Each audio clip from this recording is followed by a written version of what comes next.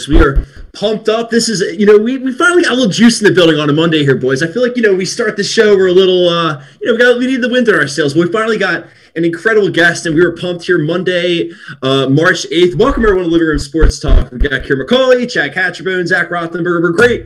John Giannini is joining us here in the studio. Let's say, let's say, also, we got the round of applause here, boys. Let's go. Let's pump it up. Coach, thank you so much for jumping on with us. Love being here. I love talking sports, and uh, yeah, it's a pleasure to meet you guys. And I love the LaSalle Sweet 16 banners. Of, of course, that makes me feel very welcome immediately.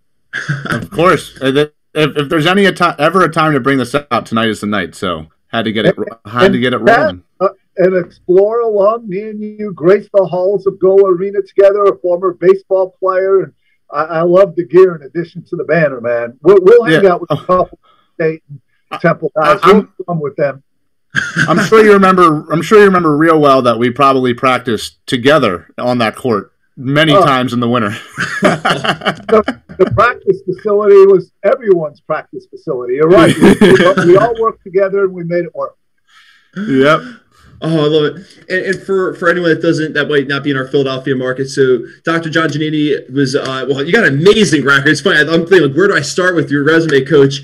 Um, incredible teacher, coach. Uh, you know, he started all the way back it's funny. We were talking before we jumped on the air about how Chicago native probably was not the best idea for me to wear my Packers attire. I was just trying to find LaSalle colors tonight, but but all the way up until right you from Chicago all the way working your way into the Philadelphia circuits and, and all the success you've had um, up until that point. So we're so excited to have you on, and we really appreciate you making time. Oh, it's, an, it's an honor.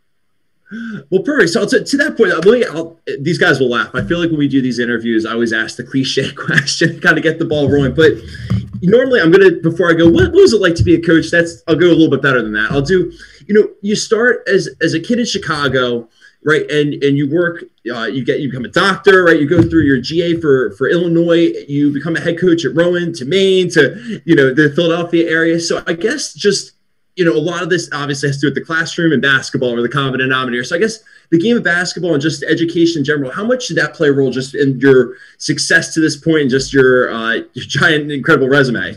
Well, I, I liked it. So you don't have to go to college to be a great success. And I, I know people have done amazing things and never set foot on a college campus, um, some family members.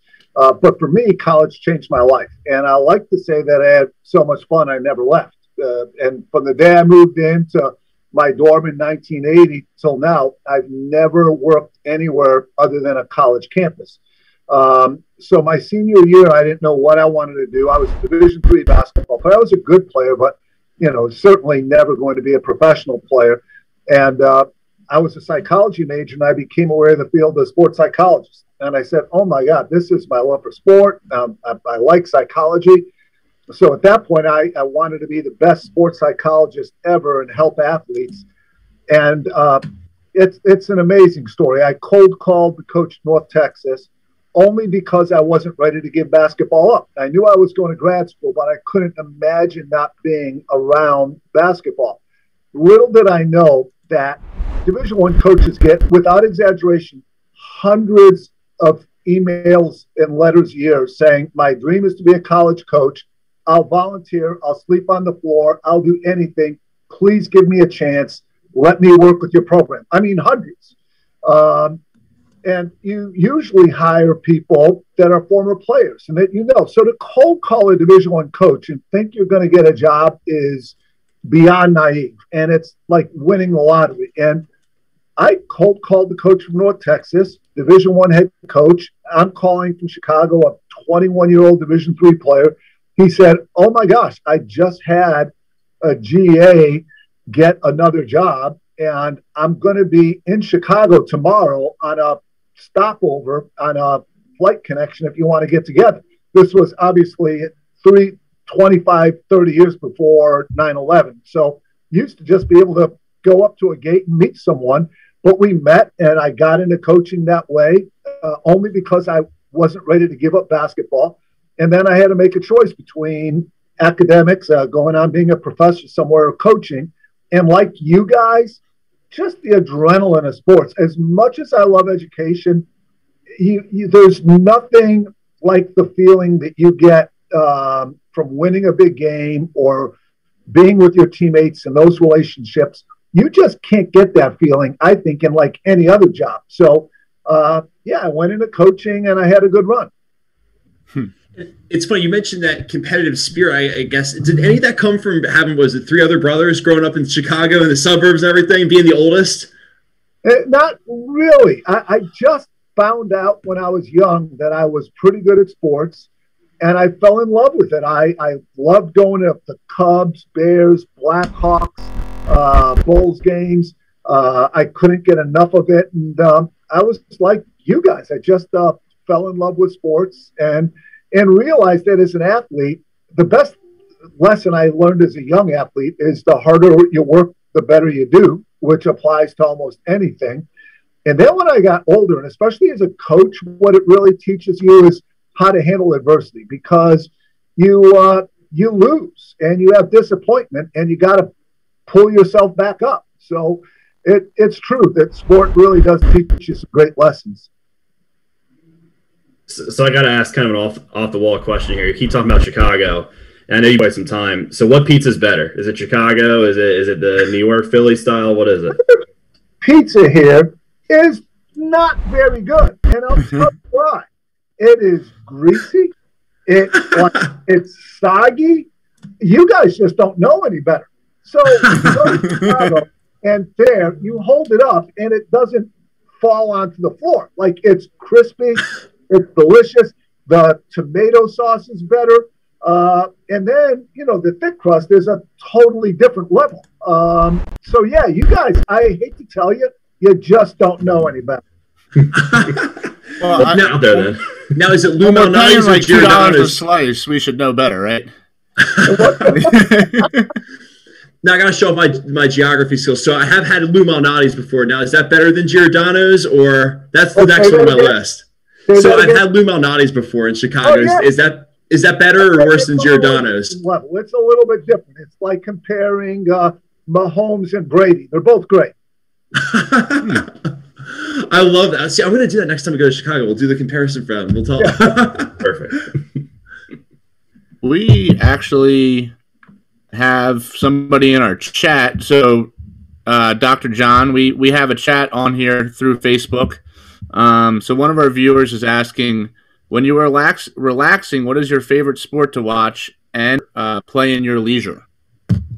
I love to fish, and I'm serious about it. I actually go in the Midwest, up in northern Wisconsin. I musky fish, and uh, like you know, how some people are totally serious about golf, spend a trillion dollars on it, and take lessons. I'm like that about that kind of fishing. Uh, never got into the saltwater because I grew up in the Midwest and there's no oceans there. But I actually go back to the North Woods. And when I coached at Maine, I lived on a lake. Oh, uh, yeah. Oh no, here's here's where I go in August. Oh my wow. god! Yeah, and it's just gorgeous. It's there's no people. It's me and the animals, and uh, you know, I, it's great. I love it. But thank you for asking that question. Yeah. Yeah, I forgot. I actually know. I digress. I know Chicago Bears football, college basketball, and uh, Midwest fishing. Not saltwater, freshwater fishing. I, I could talk pretty much. Eh, not a great fly fisherman. I dabble in it, but uh, I could talk most kind of fishing. So there's actually three things I could talk about. Wow. well, it's funny. Of course, yeah, we're, we're, talking about this was guys. This was a horrible job, my end wearing the Packers stuff. I'm like actually ashamed. this is another Midwest thing. People are nicer in the Midwest because you won't believe this. The Packers are my second favorite team. Like you would never hear an Eagles fan say, "Well, the Cowboys are my second favorite team." But I grew up watching all their games. I like their uniforms. I like their team, and legitimately, if if uh, they're not playing the Bears or it doesn't have playoff implications for the Bears, I, I like the Packers. Which that just shows you how nice we are in the Midwest. Uh, it's so true out in the Midwest. I always call it like the grocery stores to me the biggest way of determining it. I mean, Zach and I went to Wisconsin together, so we can test. I mean, you see how like, you go to the grocery store. I feel like in, in southeastern Pennsylvania, everyone just kind of looks at you. Where the Midwest, like, hi, how's it going? You know, and they're like oh, bagging yeah. the groceries. There's... Yeah, absolutely. Um, but I'll tell you, let me ask you. So, you know, you start speaking of the Midwest. So, I was so I guess you were a GA at Illinois when you guys went to the Final Four. I think it was it was in 1989, I believe. Yep. So yes. How much did that influence? It's funny because I was looking. I was like, wow, you've been you were in the dance like well before you know the LaSalle days and everything in the D1 level. And I mean, how much did that help you just even go into like your first job as a D3 coach at Rowan? Oh. I mean, it's like uh, you know you want to be a cook and you're uh, uh, a busboy at mm-hmm. a five star restaurant, you know? And that's what GAs do. They do busboy type stuff, rebound for people in drills and help run summer camp and make sure guys are going to class. And once in a while, they ask you for your opinion, but it's just you're soaking everything in. And to be, uh, uh, and I did a, as you said, North Tech for the first two years, Illinois for the next three years. And you know, to go from D3 to D1 and then to go to the very top of D1, it was just an incredible education. That's all I could say. I mean, uh, I was there and saw the best players and the best coaches, and and I didn't have to wonder what it was like in the big time and what the players were like and what the coaching was like and what the atmosphere was like. I got to see that at such a young age. And in all honesty, if I would have stayed the coach at Rowan or a place like that, it would have been okay with me because I knew what it was like in the big. And in all honesty, the kids at West Chester and the kids at Rowan and the kids at Widener and the kids at Muhlenberg and uh, um, they to them like a Rowan Stockton game's no different than Illinois Michigan to those kids. It's just as important and it's just as loud. It's just that there's a thousand people in a thousand seat gym instead of sixty thousand in a fifteen thousand seat place. Um, but yeah, it, it, it, was phenomenal, and you'd be surprised that besides the talent of the players and the media and fan attention, the actual coaching is the same. You still got to make sure kids are on time and responsible and good people and good students and they play unselfish and they play smart they play hard and the fundamentals of the game are the same and uh, you know so you find out that uh, it really isn't as different as you think and I'll tell, let me jump in the chat real quick. So we have a couple questions. Um, so this is a great one. So they were asking, what would what is from Joe P? They were saying, what uh what would it be like coaching right now, Dr. Giannini, in a, in a time like this with COVID and, and just oh. the pandemic? And I mean, and you know, as an AD right now at Rowan, I mean, it's probably, I can't even imagine what your life's like right now. So the, the thing that I do that I really love besides working at Rowan, which is a great school, is I, am doing broadcasting. I did uh, ESPN LaSalle and uh, GW Fordham last week, and then I went and did Conference USA games. I did uh, Marshall and Charlotte over the weekend. I'm going to go do uh, Western Kentucky and Louisiana Tech in the Conference USA tournament this week. So oh, I'm awesome. Yeah, so I'm around coaches constantly and talking to them and preparing. And the games are great, but in all honesty, they're not having a good experience. Uh, the kids, most of them haven't. A lot of them haven't seen family since uh, uh, since the summer. They a lot of them weren't allowed to go home for Christmas. They literally, because of remote classes and and they're tested every day, they just go from practice to their dorm rooms.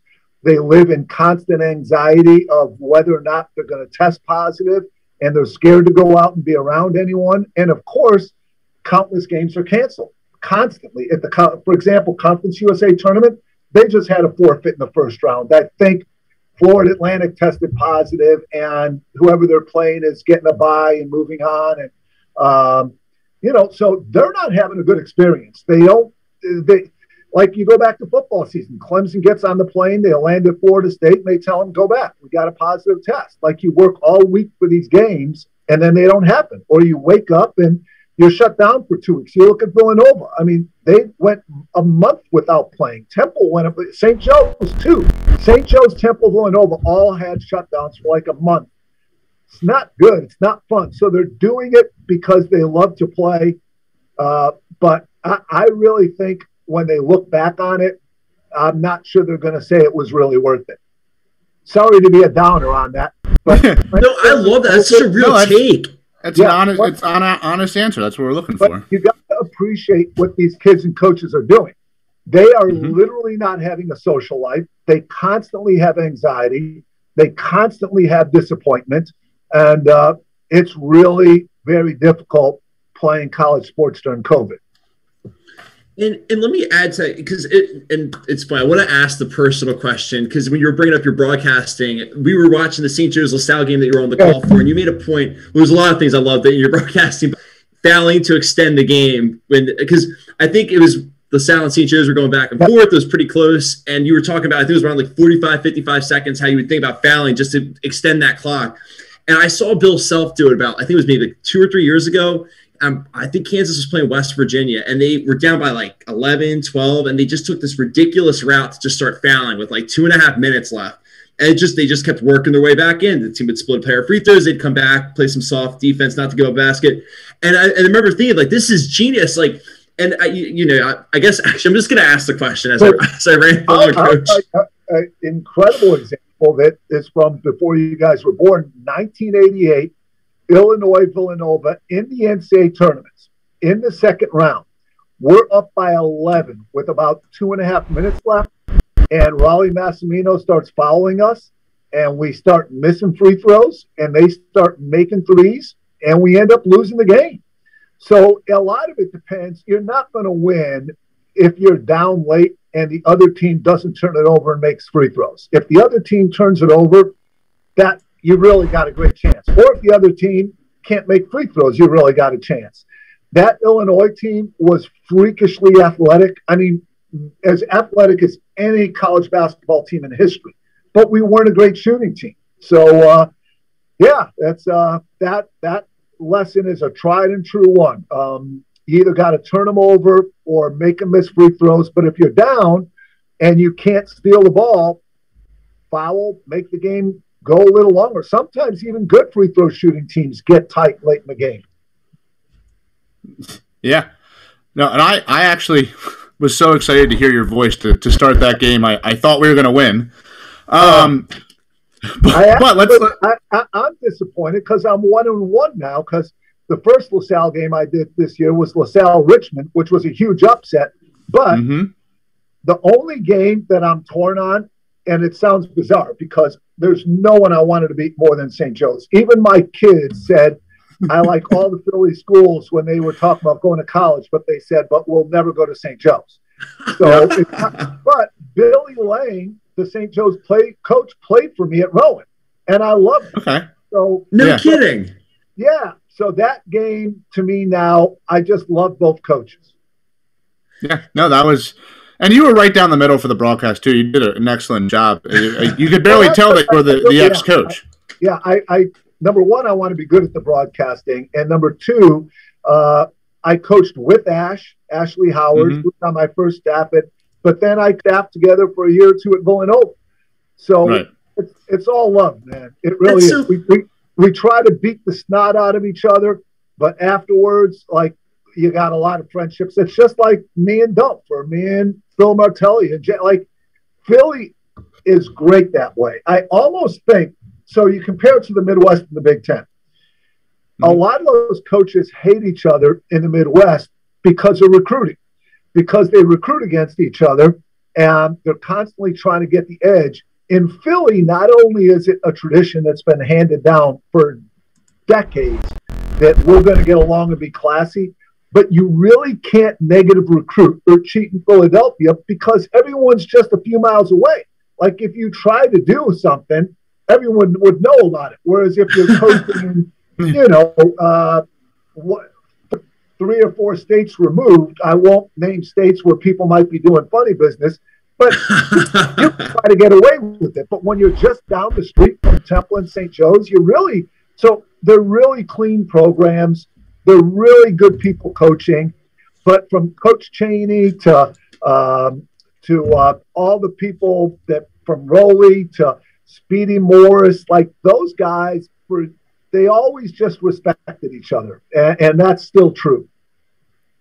So this is like a perfect transition then. So I was going to ask about the, the 2013 run and just more so how how did that feel or how special was that for the LaSalle community? And then kind of just explain like the entire city gets behind every Big Five team that goes on a run in the tournament. But how that felt as as the head coach of the team, um, that every single person in the city was supporting you through it. So uh, I'll tell you um, coaching side of it, and then the realization side of it. And I learned this. You guys asked about Illinois. We're in the Final Four. We're in the. We played in uh, the the Dome in Indiana, and then out in Seattle. I mean, we're playing in front of fifty thousand on the biggest stage, and everything was the same as a regular season game. Like we didn't break any of our routines. We practiced the same, ate the same, kept the same schedules. We didn't get more hyped. Uh, like we were in a routine, and that's how you win a big game. If you start treating it different, well, now you're breaking your routine and maybe putting too much emphasis on it, which mentally just makes you press. So, same thing with me and the Sweet 16 team. Like, we were business as usual. But at the Final Four, if you guys can ever go to a Final Four, you got to do it. It is a blast socially. There's parties all over, the town is exploding, and everywhere you go, people are happy and having fun. You see school spirit all over the place. You see every famous coach you've ever seen on TV is there because it's the coaches' convention. So go to a Final Four. Uh, but one of the things is we all get tickets, but we usually give them to donors or friends uh, because to them it's a lifetime experience. To us, it's another game. So I'm out with Stevie Donahue, who was then the coach at um, Boston College. Uh, I'm with John Gallagher, another Philly guy, a St. Joe's alum, who is the head coach at Hartford, and a few other coaches. And we're in a bar somewhere in Indianapolis. And it's when Michigan won. And we see these Michigan, like the whole street, it was like Mardi Gras. It was like the most, and they're singing the hail to the victors. And what we said is, this is why basketball is important. Like we said, there's no academic on, there's nothing that could create that school spirit like what we saw that night. Like there were thousands of Michigan people just in this one place going crazy. And they said, you know what? That's why they pay us pretty good money because we are the face of the university. And if we're good at our jobs and do a good job, uh, it rallies people like no, listen, business department, communications department, they change lives because they give people like you and me a degree that we could use the rest of our lives. But no one's going to go, you know, crazy in the streets because of something that happens in a classroom. Uh, the power of sports is incredible. So when I came home and I saw the videos of the students on the streets, and my wife was even wide eyed. I mean, we've been married since the Illinois. She's seen everything in sports. And she said, what you guys said, you weren't here, but you won't believe it. She said the whole city was into it. So, um, as a participant, you don't get to enjoy it as much because you're working. Like it's literally work. You're still trying to figure out how to guard Wichita State. You're still trying to figure out how to score against Mississippi or how to stop Mitchell Ham- Henderson, the Landstar yeah. like, like, you're working. You're not like, isn't this great? Um, but it's afterwards you really realize it and, uh, and appreciate it. And all of us are on this podcast because we love sports. Like I still haven't found anything in life that has that level of excitement. Yeah. I and you going like this just brought me DJ Peterson running down the court after we won that game. That was that was incredible. Yeah, doing Marshall's thing.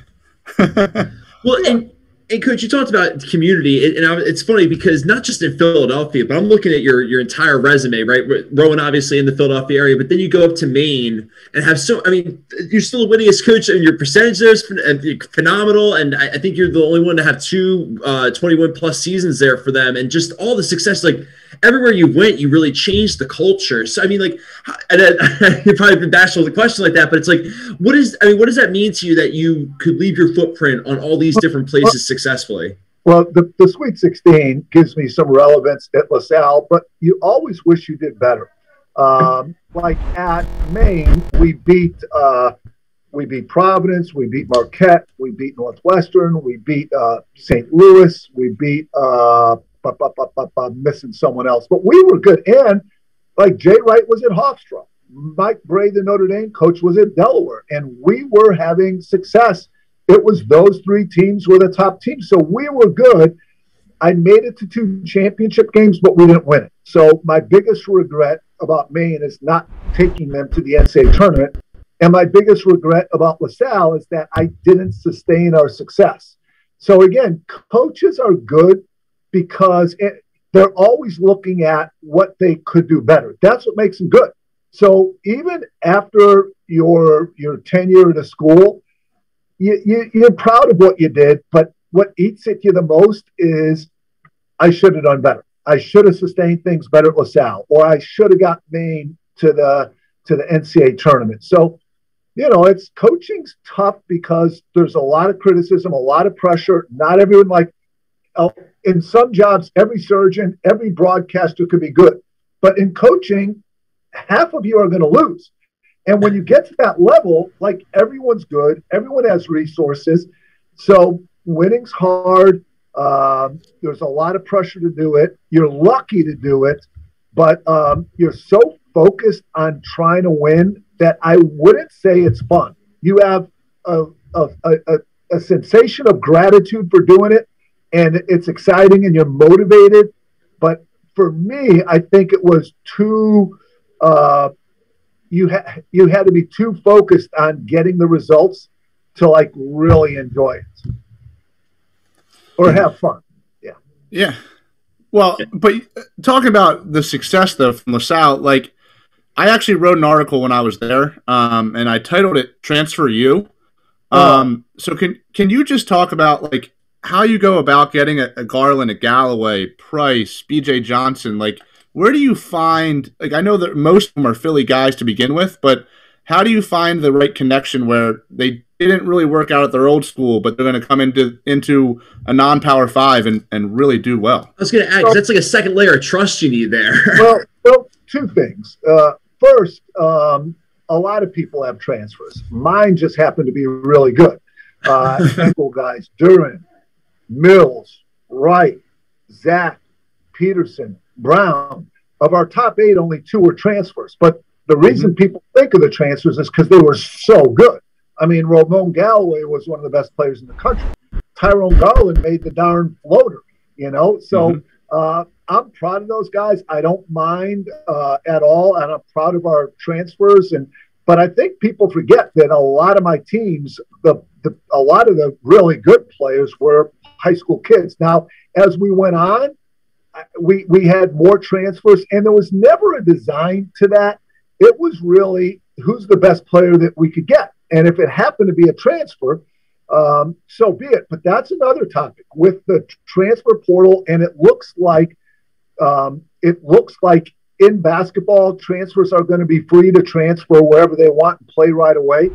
So you're going to see astounding free agency in basketball, college basketball, and football coming up. And it's going to make it really hard to build a program because I think everywhere you're going to see 25 to 50% of the team change every year. So it's just the games are still going to be great, but it's going to be like the pros where it even more so maybe where it's not when I was growing up, believe it or not, I'm old enough, there was no free agents like the which was good and bad.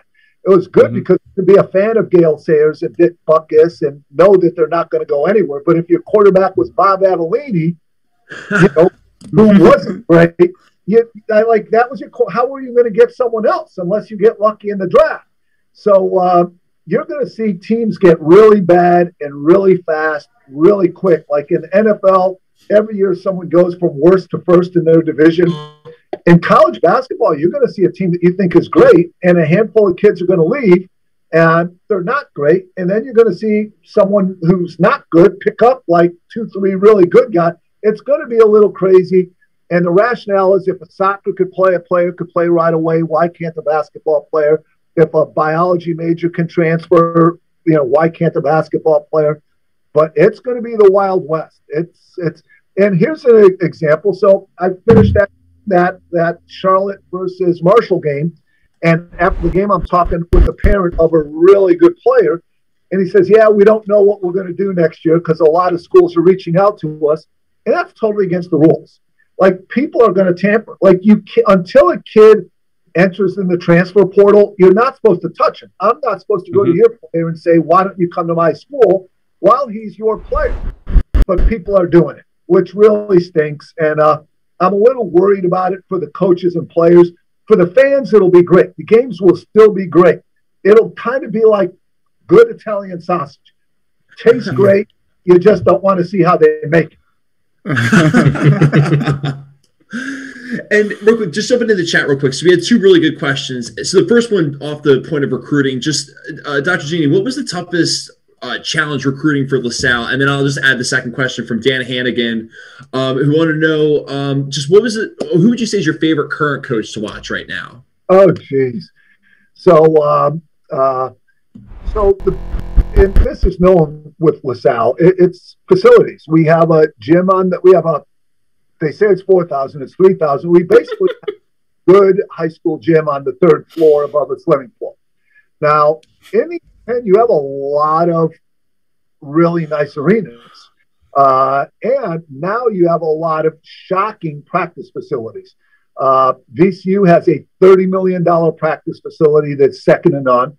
Um, uh, UMass has a phenomenal practice facility. Uh, Dayton does. You go on and on. So um, one person joked when we were you, uh, you were there. I'm sure, Chad. We're playing Minnesota in the NIT, and the joke was that um, uh, was that Tubby Smith was going to ask, tell me, you really need a new practice facility. It's not very nice, but where's the game going to be tonight? and then you got to explain, well, the crappy facility is really our game facility. Uh, but like it's uh, facilities cost a lot of money, and it, it, it's you know St. Uh, if you look at like St. Louis, Dayton, UMass, what they've done, like they have probably a combined 100 million between their game and practice facility wrapped up in men's basketball facility. And I think Gola cost like two or three million back in the day. And you know that and then you have locker rooms weight rooms uh, meeting rooms video rooms and uh, we don't have those you know well we do but they're a lot closer to the small college level than the people you play against but now here's the thing we went to the sweet 16 and st bonaventure they might have a, a, a, a facility that looks more like a, an a10 facility but it's old and they don't have good locker rooms. They don't have good weight rooms. They don't have uh, they have a terrible recruiting location, and they're good every year right now. So, and that's what I thought I was going to do. You know, Mark Schmidt is good enough to win at a tough job. I thought I was good enough to win at a tough job. Uh, I, I, I really believed it, uh, and I didn't sustain it. And it's not it's my fault because uh, I think you don't need the best of everything to win. Um, and there's a lot of examples of that. Coach Chaney, before they built the Liacouras Center, Coach Chaney coached in McGonigle Hall. Yeah. I mean, a 4,000 seat gym. And he was number one in the country with a 4,000 seat gym. He was number one in the country ahead of Texas and UCLA and uh, Ohio State and Michigan. Uh, and he had a 4,000 seat gym. Uh, so you don't need the best of everything but that's the challenge. I thought I was up for the challenge, and I just, I just, you know, didn't do as well as I thought I would. Uh, I mean, yeah, could... but you know, it's like the Eagles in the Super Bowl. Doug Pederson's out now. In the Super Bowl was what three years ago. So, yeah. yeah, I mean, you got Charlie Manuel won the World Series. They got rid of him. I mean, Fran Dunphy is the winningest coach in Big Five history. He's not there anymore. Phil Martelli, Martelli number yeah. one in the country, undefeated regular season, Elite Eight. He's not there anymore. So, really, they say there's two kinds of coaches, but I believe there's three. There's coaches who have been fired, coaches who are going to be fired, and Hall of Famers. Like Jay Wright will never be fired. You know, like if you are literally a Naismith Hall of Fame coach, you probably won't be fired. But if you're not, you're probably going to be at some point. And such a great point. No, I was going to say at that point, like I guess how, and you brought up a great point earlier when we were talking about just how fifty percent of the people, right, in the line of work, no matter what you do, it's just yeah. win and lose. Hey, my dentist, my mechanic, uh, the professors on campus. There's no AD that's meeting at me at my door trying to block me out of my office or trying to tackle me and take my car keys from me. On that basketball court, people are going to try to rip that ball out of your hands try to take your head off when you drive to the basket. Like I, I, like when people said, "Is that the shot you wanted at the end of the game?" And I, I, I wanted them to all move out of the way and let us score the game winner, but they didn't cooperate. I mean, people don't want you. Like people wake up every morning trying to out recruit you, try to outlift you in the weight room, try to out practice you, and come game night try to outplay you. So you know, and listen, you're lucky to do it, but I had to worry about, you know, all the big five coaches and Travis Ford and Anthony Grant and and LeBron's coach at Duquesne and uh, and Bob McKillop at Davidson. Like when they wake up every day, they're trying to beat me. They're going to the gym and they're training their guys to beat me, and I'm training their guy, my guys, to beat them. So, like, you, you look as a fan at game day, but I mean, we're competing 365 days a year. That's some, they pay us good money and the stakes are high and we're lucky to do it. That means we got to bring it every day. Like I'll bring up an Andy Reid story. Um, this is a Packer story. I went to a game at Lambeau. So at Maine, no one wanted to play us because we're in the middle of nowhere and we had a good team. No one ever wanted to play Wisconsin Green Bay because they're up north and it's cold and and and same thing. They have a good team. Not so, easy to get there. Woody Wilson and I, in scheduling, would talk every year like we need games. Should we play each other? And we became friends. We both never wanted to play each other, but we became such good friends. He said, Come to Green Bay and I'll take you to the Bears Packers game. So it was awesome. Uh, but he was also Andy Reid's former next door neighbor. And he said, John, he said, 5 a.m. off season like May, June, like downtime. He said he he said he was out fight like 5 a.m. till 11 midnight every day of the week. Like Leonard Hamilton, the 70 something year old coach at Florida State. So I like that fishing trip in August. You know, his assistants tell me even in the summer, he just stays in the office like all night looking at tape, making calls because he loves it. So, uh, yeah, people work hard to beat you in that business. Yeah, so, so, so, you mentioned, yeah, so you mentioned you're now you're at you're back at Rowan as the AD. So how yeah, how's that feel going back to Rowan after you had I think it was what an 81 percent win percentage as their head coach and including yeah, a national title.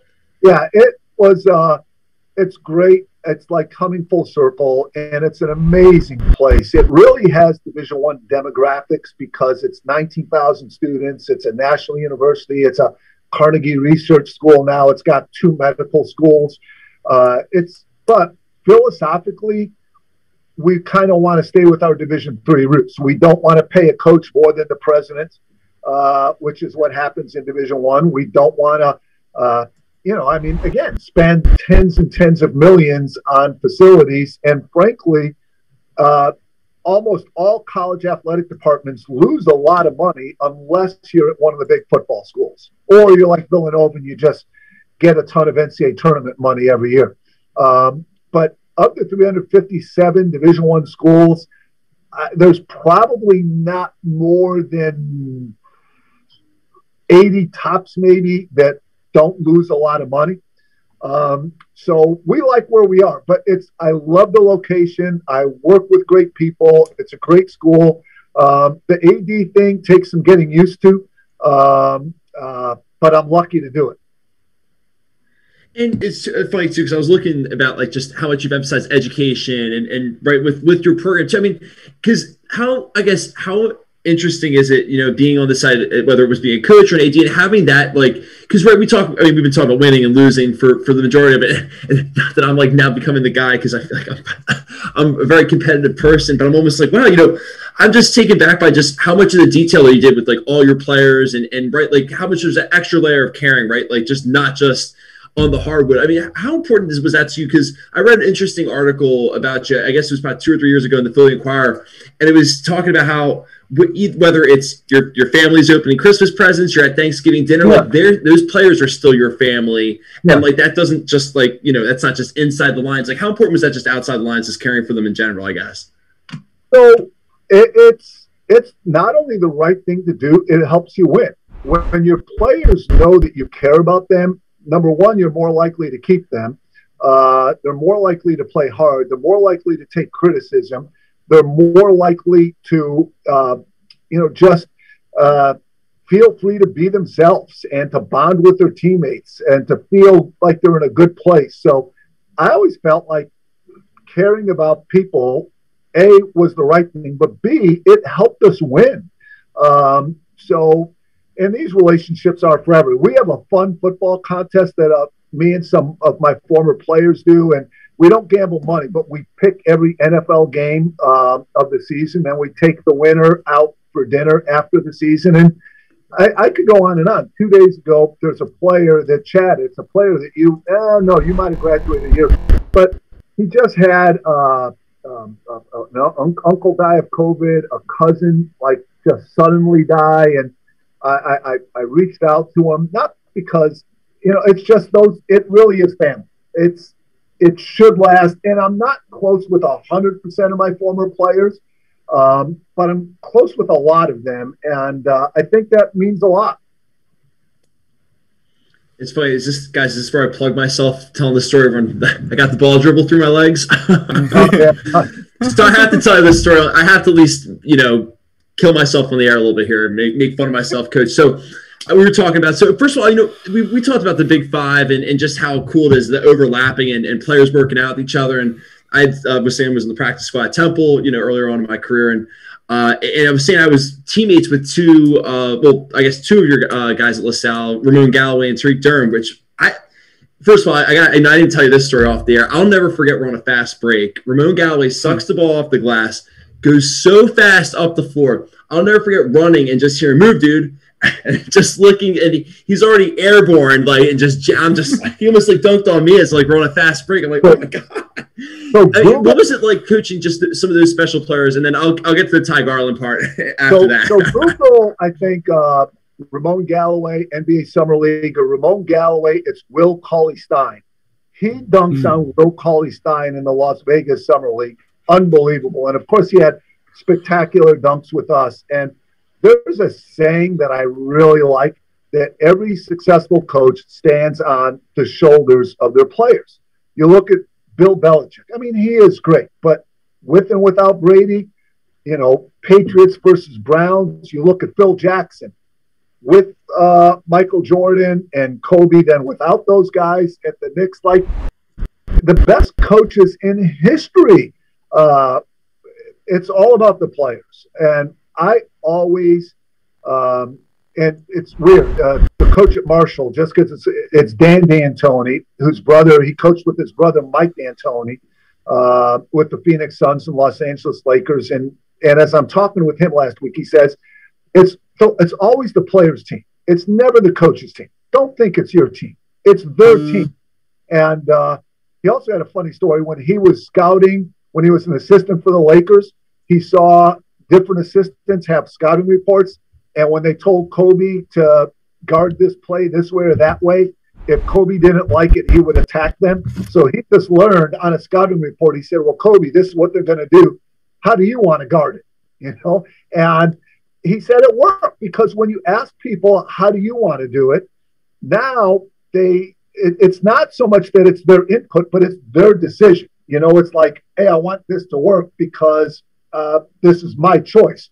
So I, I just think respecting players um, and how important they are is everything. So, you know, one by one, like I'll give you a great Ramon Galloway story. So, um, Ramon missed a couple classes, and we're playing Butler, number nine in the country.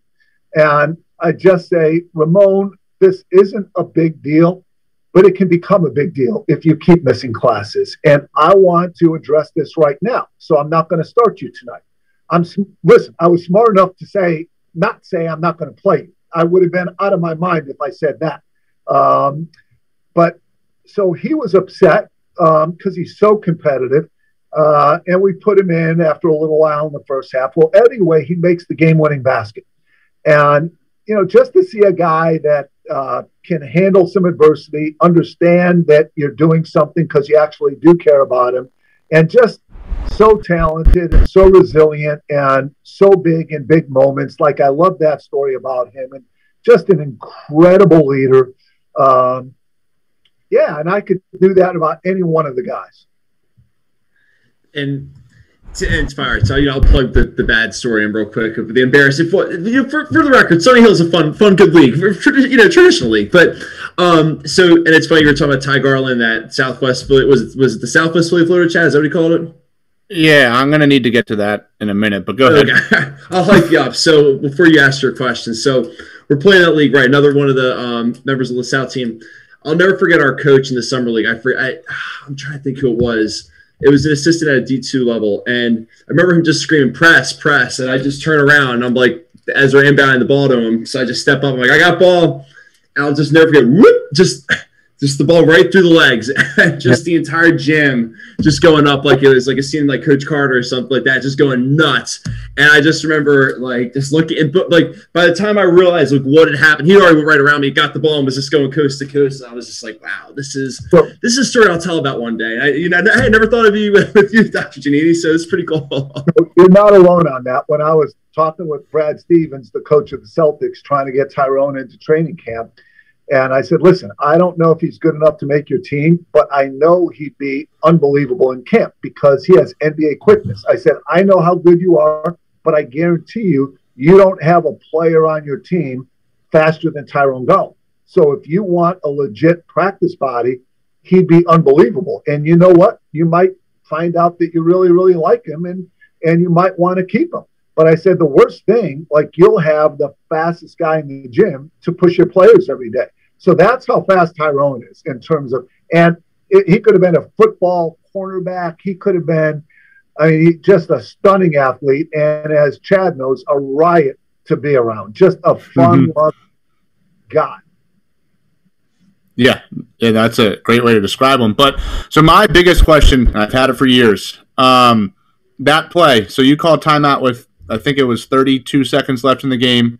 Um, and you know, it's not the NBA where you get to advance the ball, we have to bring it all the way down the court. But so, like halfway through, just kind of dribbling out, Tyreek's dribbling out, they switch sides. So, was that the play call, or did they did they change it so, on the fly on on the court? There's my part and then their part, and both were important. So, my part is that if you they had the best shot blocker in the SEC, and they're playing two three zone, and mm-hmm one of my former assistants, a guy named Joe Cassidy, and I remembered it. Joe said, You might not get a layup. We actually did. He said, But there's four perimeter players on a 2 3 zone, and the center's just in the middle. So if you don't have a post player and you go with five guards, like somebody has to be open. And as you all know, out, we're taking Rohan out. We're going to just have no post, and we're going to put the ball in Tyreek's hands. And you know he'll make the right decision. And you really can't make a mistake. Tyreek saw he he thought he could drive and set up Tyrone's. You know that was my idea, but Tyreek seeing Tyreek really told Tyrone, "I'm going to drive here and you come behind me." Like that was all Tyreek and Tyrone and Ramon once they got out there.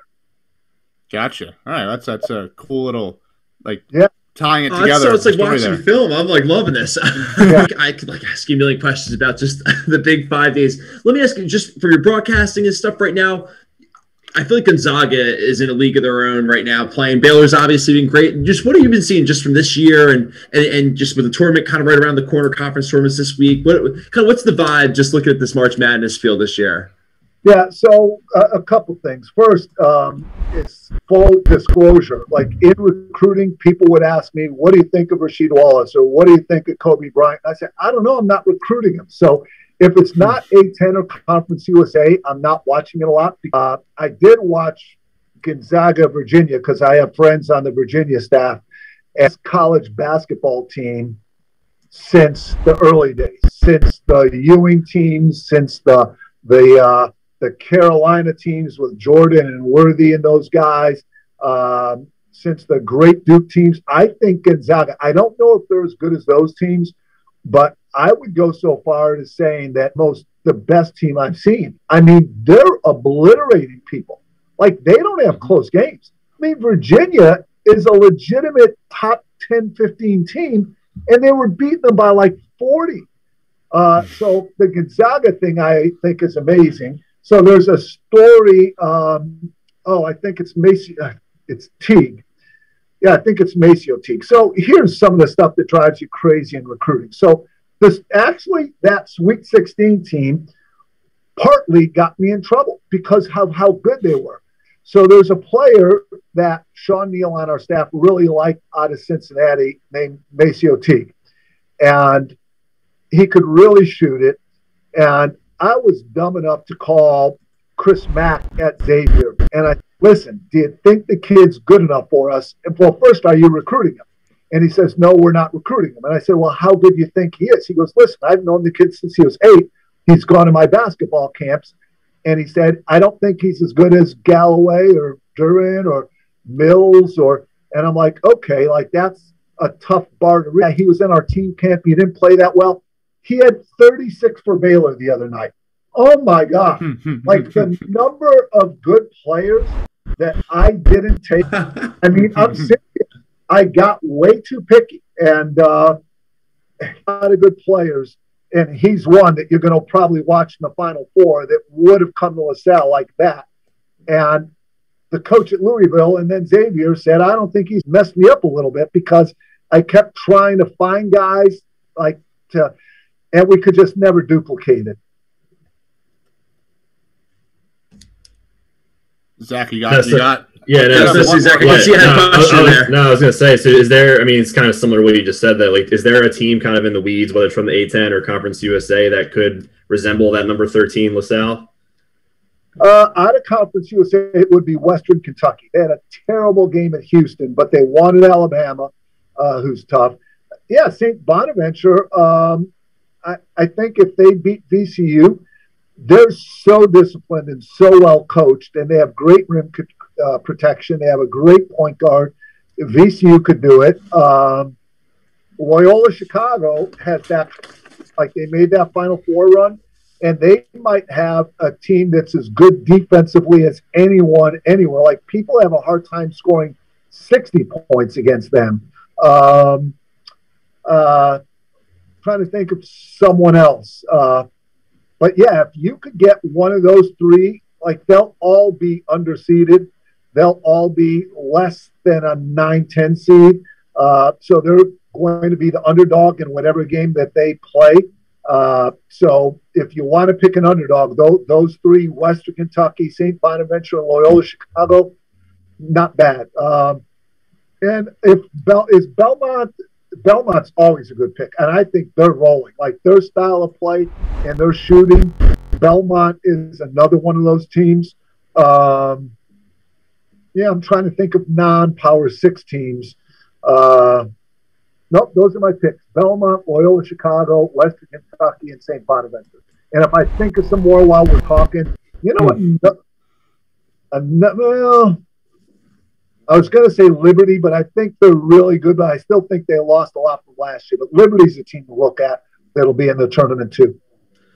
I think the three of us just took some notes. So. Oh yeah, like it's like I felt like I was that, in class where the, the professor saying, "Now write that one down again." Like you know, it's like all right. so you said it was yeah. we we really like sports, but we somehow don't do the best betting. So we like to use use our guests to help us out.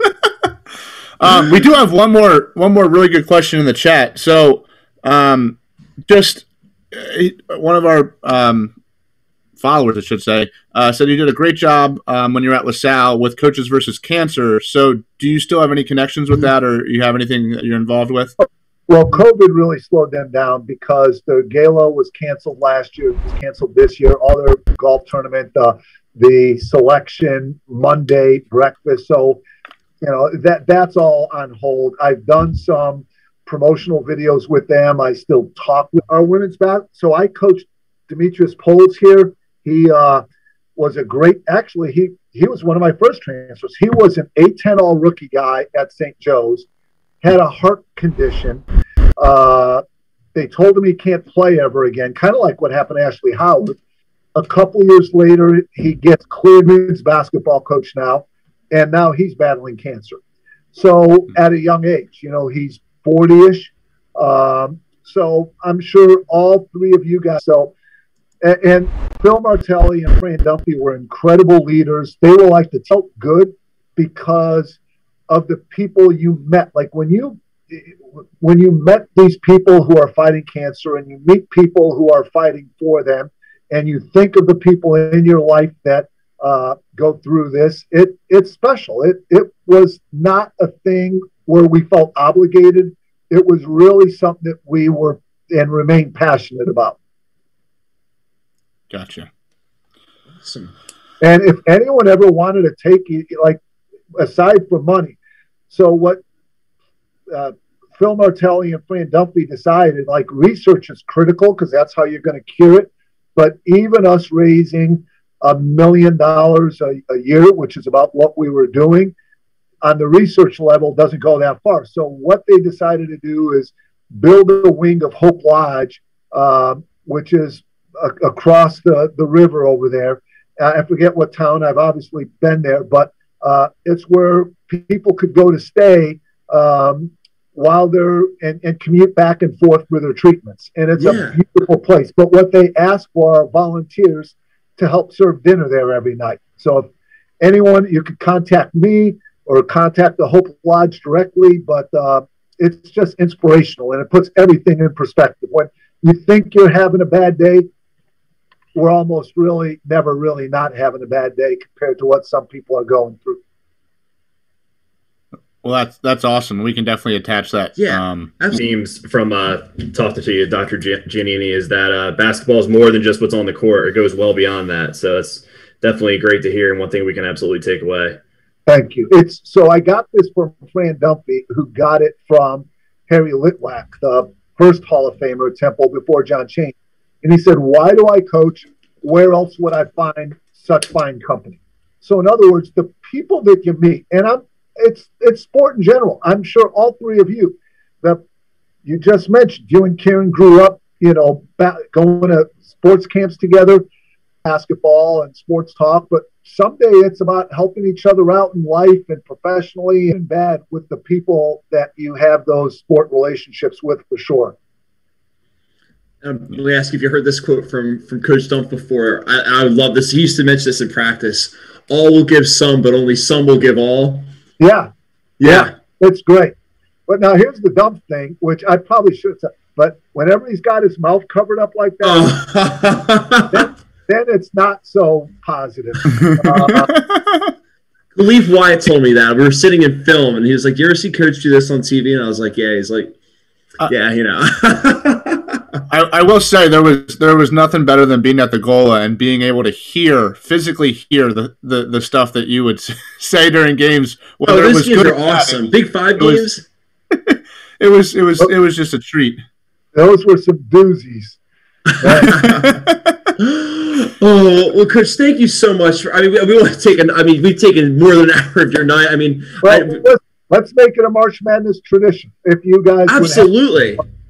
Okay. Oh yeah, absolutely. Absolutely. You know, we might have to do some some Bears Packers chatter too in the football oh, season coming. Listen, if you want me on for Bears Packers or Bears Eagles anytime, you I'd be upset if you didn't get me on that week. oh my god! Well, Dr. G, you're oh my god, you're a friend of the show for us forever. this is so much fun. I, like, yeah. I was like looking down. I was like, oh my god, it's already after eight. Like, yeah. we really appreciate just all the time you, you, made for us tonight, and and it was a blast talking. And, and I know the chat uh, loved you know chatting questions. We really appreciate answering them as well. Uh, you guys are great. It's a blast.